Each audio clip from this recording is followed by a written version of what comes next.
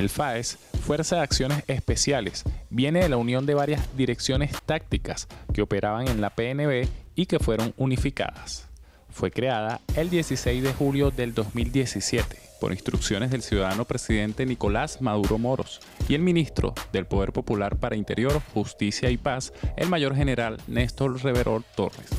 Está conformada estratégicamente bajo la doctrina y pensamiento revolucionario del comandante supremo Hugo Rafael Chávez Frías.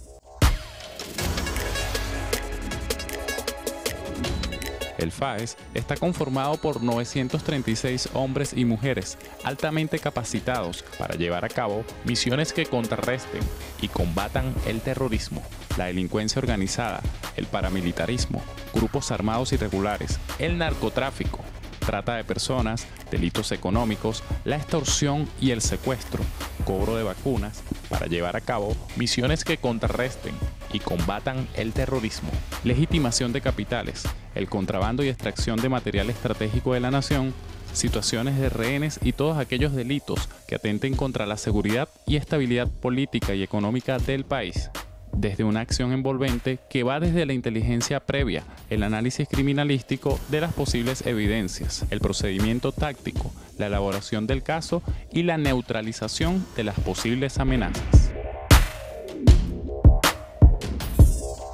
Las Fuerzas de Acciones Especiales, FAES, ha sido una dirección que desde su creación ha hecho frente a estas bandas investigándolas, buscándolas, neutralizándolas, de tal forma de que en la actualidad muchas de ellas han desaparecido, se han desplazado o se han hecho muy débiles para seguir con su accionar delictivo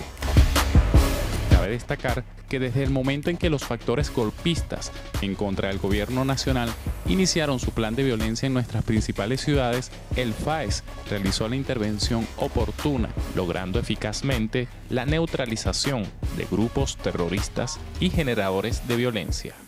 logrando principalmente la estabilidad social en busca de la paz del país.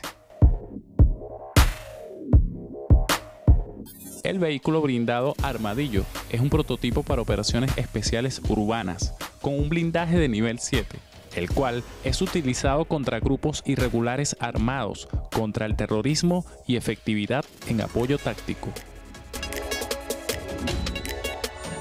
Este proyecto surge de una serie de necesidades de este grupo en 2015, después de notar que los actuales vehículos utilizados, como los Toyota Tundra, Land Cruiser, Orinoco y BN4. Le faltaba mayor protección, así mismo como agilidad y velocidad para poder intervenir en áreas confinadas.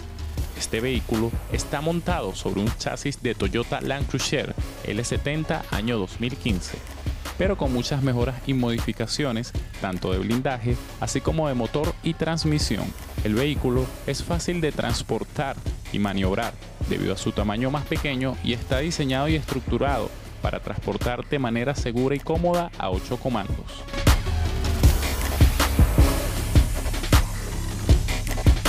Toyota Tundras.